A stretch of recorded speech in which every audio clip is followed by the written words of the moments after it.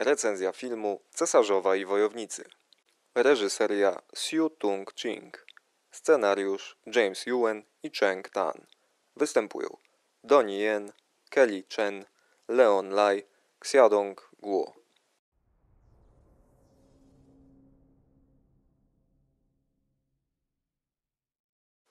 Gdy ranny król przekazuje władzę generałowi Muyong, zazdrosny bradanek władcy nie jest zadowolony i dokonuje krwawej zemsty.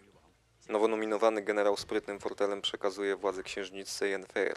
Zdrajca jednak planuje już kolejny zamach. Jego plany pokrzyżuje Duan Langquan, który uratuje Yen i pokaże jej, że poza wojną istnieje także inny, spokojniejszy świat. Cesarzowa i Wojownicy to bardzo ciekawy przykład azjatyckiego kina.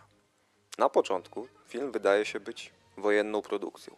Potem zmienia się w lekką komedię, następnie w romans, a potem znów powraca do wojennej tematyki.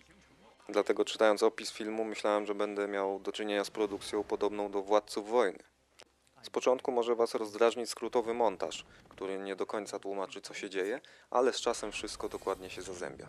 Całość oparta na tradycyjnym konflikcie dwóch mężczyzn i jedna kobieta, ale pokazano go w nowy sposób, no i nie zakończono sztampowo. Śmiało można stwierdzić, że jeszcze żadna księżniczka nie była tak poniewierana na ekranie jak Yenfeir.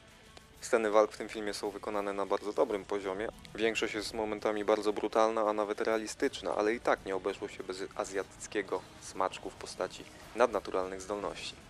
Przygotujcie się na obfitą dawkę krwi, ale nie aż tak dużą jak w amerykańskich produkcjach. Przyzwoity film na nieprzyzwoicie nudny wieczór.